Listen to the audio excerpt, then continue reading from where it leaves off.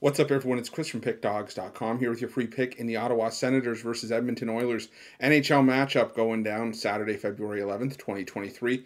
Before we get to that free pick, gotta let you guys know at PickDawgz.com, We're doing it bigger and better than anyone else. Got more free pick videos on our channel than you'll find anywhere else on YouTube. So make sure you're subscribed and also take advantage of our free sportsbook bonus offer. The link in the description of this video below. Now, while I do love giving out free picks, if you're looking for my best bets, the games I love the most, including my daily $15 best bets, check out PickDawgz dogs.com and click the premium picks tab at the top of the page. But let's get to this one between the Senators and the Oilers and the Ottawa Senators coming into this one at 24, 23, and 3 on the year. Meanwhile, the Edmonton Oilers at 29, 18, and 5. But the thing for the, the Ottawa Senators is that we haven't seen them in action since January 31st. So 12 days between games coming into this one.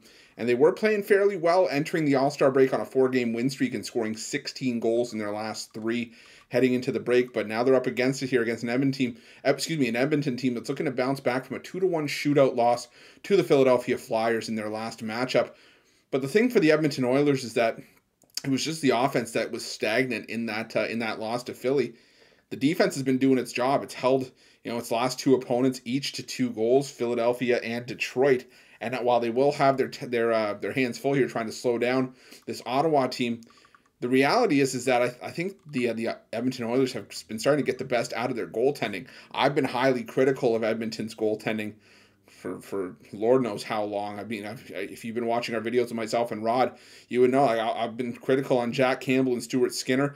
Didn't think Stuart Skinner was going to be the guy, and Jack Campbell. I have plenty of experience from watching him with the Leafs last year.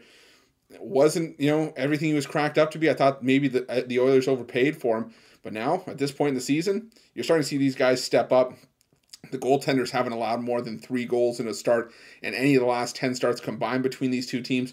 Granted, you have seen some solid performances from Anton Forsberg and Cam Talbot for the uh, for the Senators, but I just think this is your classic case of, of you know, rest not necessarily um, being any different than rust. I think there's going to be some rust. I think there's going to be an adjustment period for the Sens while uh, uh, Edmonton's already had two games to shake off any sort of rust. And like I said, they've been playing really well defensively in those two games. So I'm going to take the Edmonton Oilers here, lay the, lay the buck 50 even on the road. That's going to be my free pick.